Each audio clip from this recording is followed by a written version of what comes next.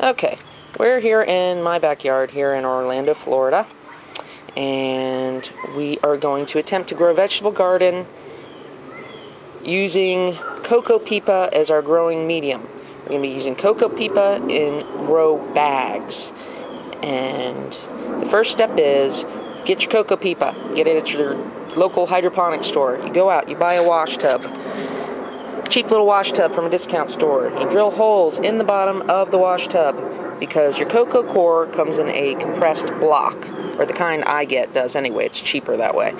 You put the block in the tub, you fill it with water. The block absorbs and breaks up in the water, absorbs the water, breaks up, and then you're going to let that drain down.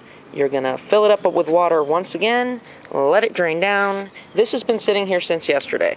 It's wonderful stuff, coco coir. It's really nice, airy, light, fluffy, doesn't harden like peat moss does.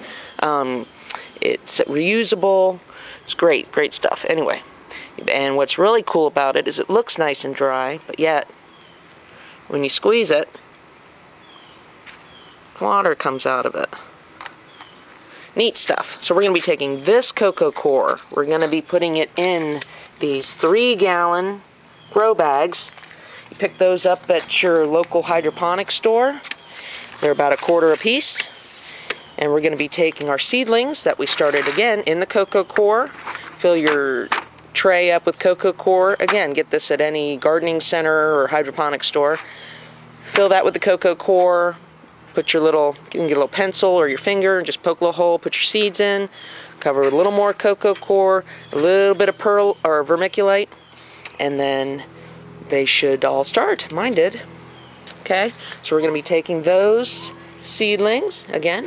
We're going to be putting them in these grow bags, and then we're going to be taking those grow bags and putting them under these trellises that I have scattered around the yard.